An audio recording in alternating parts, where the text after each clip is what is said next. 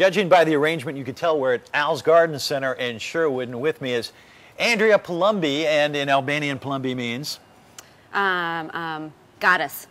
Goddess, really? I heard something else, but that's beside the point. You know, we're talking about bringing color inside, and besides wearing these gloves and bringing them inside, there are other ways to bring color inside. Let's talk about flowers. Well, first of all, I wanted to show you our drop-in that we offer. This is for outdoor containers, but this is the concept that we're going to go with today.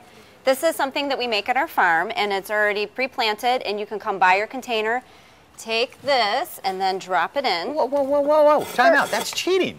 You don't plant yourself. That's okay. Some people don't have time for that. And you know what? We bring them in, they're in bloom, they are beautiful, they're grown in. They really are beautiful, but I still say it's cheating. Well, but so it's an easy way. it uh, is an easy way. for someone Yep. to do it. All right, now let's say we want to do it more seasonally, and these aren't in bloom, and you want to bring it inside. What do you do? Sure.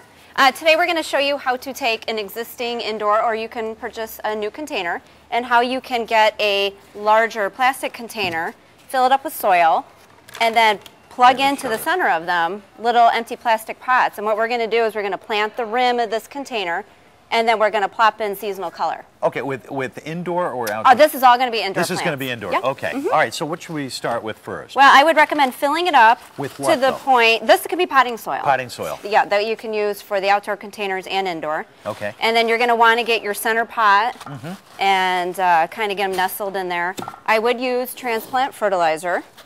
This is the Al's transplant. And it, and it's easy to use. Seven. Yep, you just go ahead and scoop it out. I wouldn't worry. Oh, I would but you don't have to mix it up with anything. You just put it in. You the- just put it in. Okay, Yeah. all right. You can look at the back. There is uh, the measurements on the size of the container, but I would just do a little handful. Yeah. Forget measurements. Sprinkle it in, and All then right. work it into the soil. Okay. So what we're going to do is we're going to find uh, a plant that we're going to keep on the ring of this container. And I like to do things kind of simple. Okay. Kind of makes it classy. A snake plant. Yeah. All right.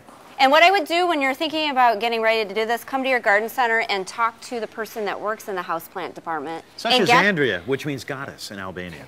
Go ahead. And then get them to help you match up the right light conditions. If it's high light, low light. conditions. Mm-hmm. In a house? Oh, you mean by a window? Yes. Not what you have a 40 watt bulb or anything. That's right. what I was thinking of right. first. You All want right. them to go ahead and recommend plants that are compatible. All right, very good. Okay. So we got a, a So snake plant snake here. plant, I would go ahead, pop him out, and just start filling them in.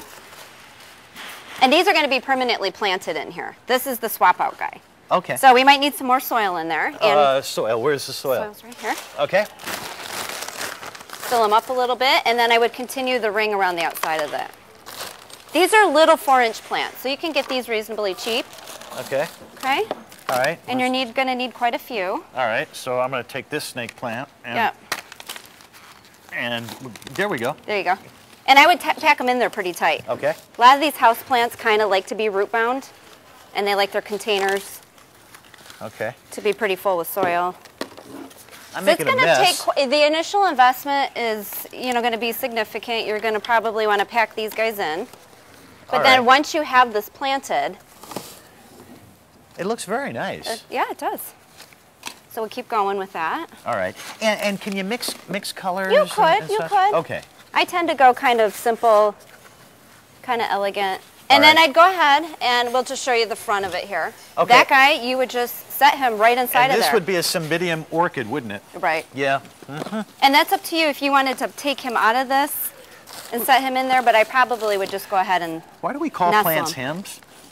I don't know. Because I think an orchid, I would think a, That uh, looks like a gal. It, that kind of does. And the other thing we have over there is some moss. Moss. We have a line of uh, moss called super moss. Okay. and it's this really pretty stuff. You can get it in many different colors. This would be a good thing to go ahead and top, top, top dress any areas where you can see the plastic container. And this would be a guy, because I think when I think moss, I think Pete. There you go. Yeah, Alright. absolutely. All right. So you can top dress that right there. Yeah. Top dress it is called? Top dress it. Go ahead and cover up that plastic. Cover up and which- then I oh. think we might be ready To put it in? Put it in. Do you want to? All right. And then you would set it in the container. Now, for orchids, highlight or low light?